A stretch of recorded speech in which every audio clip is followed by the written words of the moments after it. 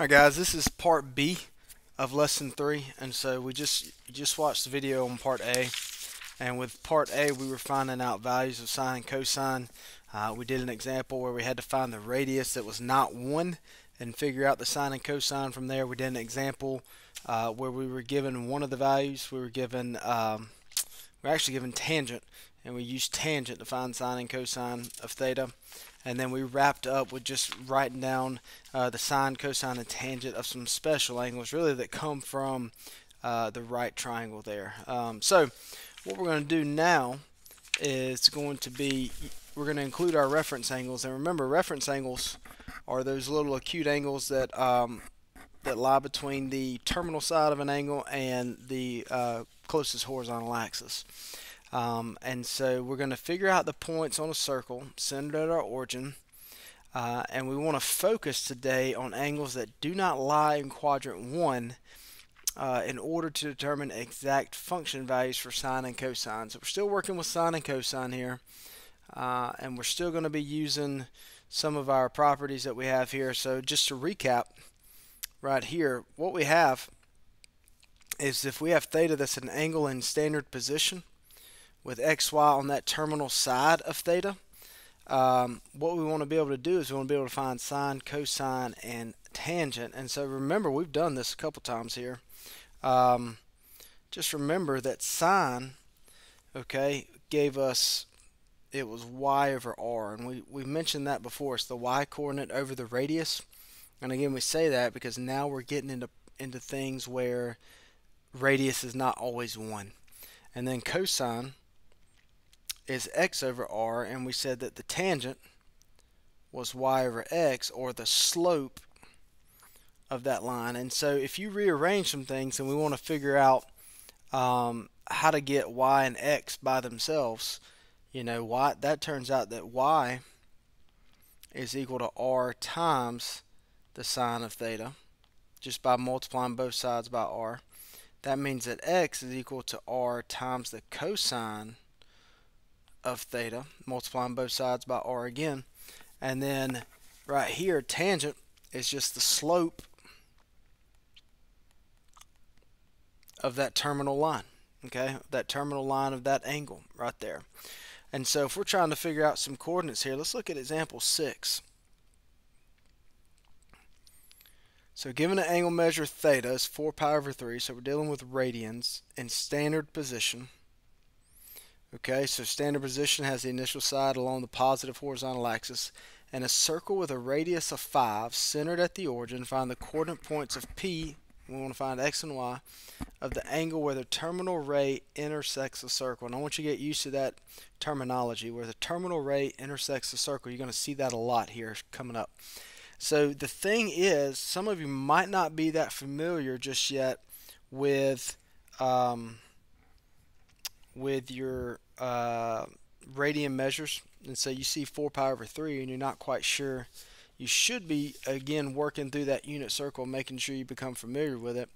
But just in case uh, if you need to we can always say 4 pi over 3 we can convert that to degrees which would be 180 over pi and that would be 240 degrees. And so that 4 pi over 3 is 240 degrees so you see right here, here's the terminal side, and that is 4 pi over 3 or 240. Okay, looking at it both ways. So that's 4 pi over 3 um, or 240. Now, so that's 240 degrees, which means our reference angle, remember that's the angle that's closest to the closest horizontal axis is going to be 60 degrees or pi over 3. Okay, 60 degrees or pi over 3. So that means our reference angle here is 60 degrees just there between. So what we're going to do is our reference angle, we're going to call that theta prime.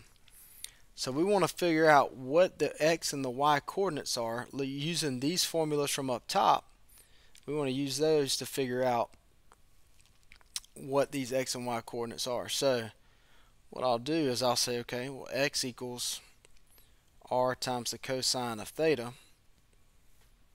Alright, well the radius was 5 and we're going to use the reference angle of pi over 3 to figure out what that is. And so that's 5. The cosine of pi over 3, if you think back to your uh, unit circle, the x value of pi over 3 is 1 half. So 5 times 1 half is going to be 5 halves. So that's the x coordinate. And then we can find the y coordinate by doing r times the sine of theta. Again, we're using the reference angle pi over 3. Radius is 5. And then the sine of theta, the sine of pi over 3,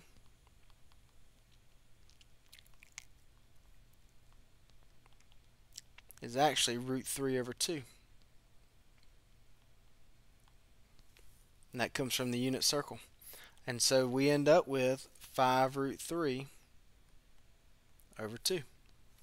Alright, so our xy coordinates are negative 5 halves and 5 root 3 over 2. And both of these are negative for the simple fact of look where they're at. They're in quadrant 3. Okay? So therefore we know that x has to be negative and y has to be negative for the simple fact that we're in quadrant 3. Okay? So that's the xy coordinates of 4 pi over 3 in quadrant 3. Now that's with a radius of 5. Don't get this confused with, well, if you look at the unit circle, 4 pi over 3 has some different coordinates there. Uh, if you look at the unit circle, 4 pi over 3, when the radius is 1, has coordinates of negative 1 half and negative root 3 over 2. But again, we're changing that up now and the radius is now 5 so our coordinates are a little bit different there. Okay, so don't get that confused right there. Alright, let's flip over. Take a look at 7, 8, 9, and 10 here. And so for 7, we said that we can find x and y by doing r times the cosine of theta for x and um, r times the sine of theta says it terminates in quadrant 2. So right off the bat, I know that y is positive and x is negative. And the cosine of theta is negative one-third. Okay, and remember cosine is x over r. So x is negative 1, r is 3. So that tells me right off the bat that this is negative, this is 3. Sorry, I didn't mean to put that. And then x is negative 1, so this distance is here, negative 1. So what we got to do is we want to find the value of sine so we have a right triangle there. So what we can do is use our theorem. We get 1 plus y squared equals 9. y squared equals 8, which means y equals 2 root 2. Okay, so that's our y coordinate there. The sine now becomes, because remember our radius is 3 now, not just 1, becomes 2 root 2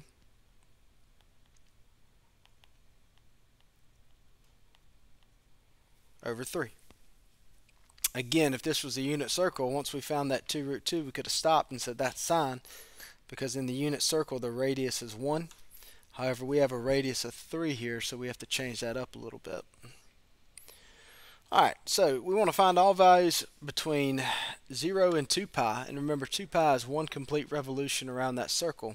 So we're going to start at the beginning and make one complete revolution around the circle we want to find all values of theta where cosine is equal to 0. Now remember cosine, alright, cosine is the x coordinate. So where is the x coordinate 0? Well, if you think about, it's only going to be on the coordinates. And so we start here. This is 1, 0. They didn't tell us a radius, so we assume 1. This is 0, 1. This is negative 1, 0.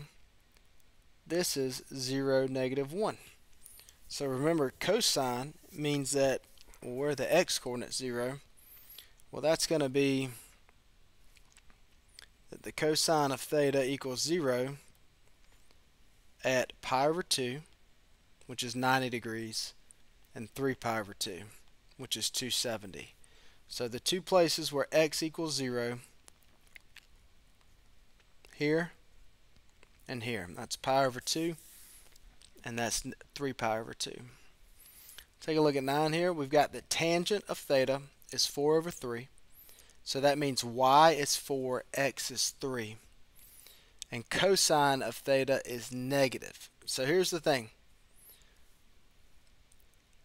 Tangent is positive, but cosine is negative. The x-coordinate is negative, which means there's only one quadrant that this angle can be in, and that's in quadrant 3, where both x and y are negative, because when you divide a negative by a negative, you get a positive. So we're going to find sine and cosine theta and the coordinates where the terminal side of the angle intersect the circle. So I told you x equals, in this case, like I said, if, whoops,